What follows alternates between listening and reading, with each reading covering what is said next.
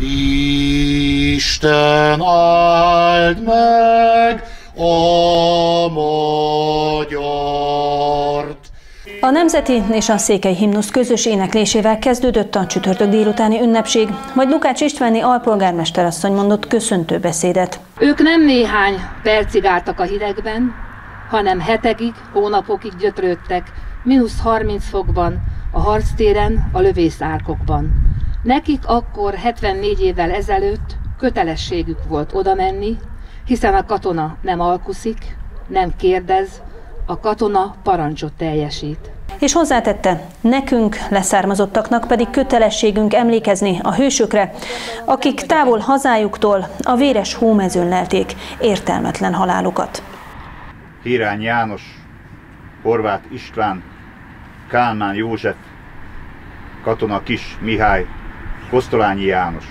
79 név ABC sorrendben egykori szegvári katonák, akik fiatalon a második világháború frontjain haltak hősi halált.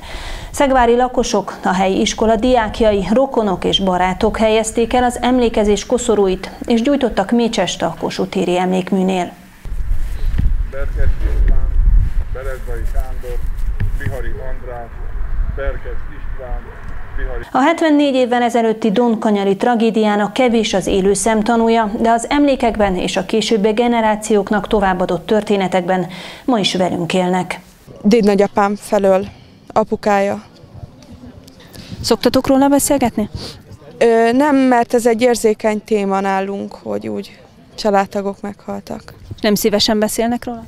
Nem, de ha megkérdeztem Isten nyugosztalja egy nagyapámat, akkor beszélt róla nagyon sokat hogy ő várta haza az apukáját. Édesapámnak a bátyja szintén részt vett a Donkanyarban, és 1943-ban vonult ben.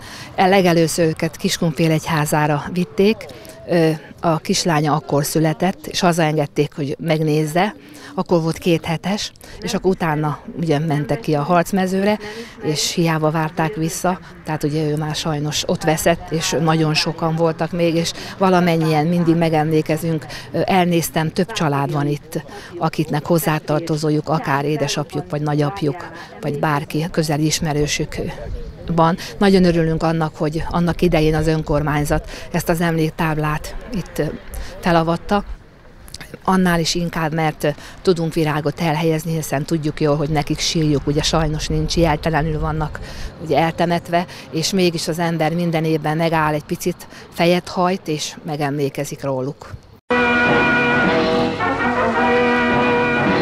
A második magyar hadsereg 1943. januárjában a Voronyes körzetében vívott harcok során szenvedett megsemmisítő vereséget.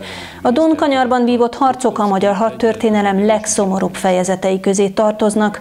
A megfelelő fegyverzet és felszerelés nélkül kiküldött lehetetlen feladattal megbízott honvédek ezrei szenvedtek és vesztek oda a mínusz 40 fokos orosz télben.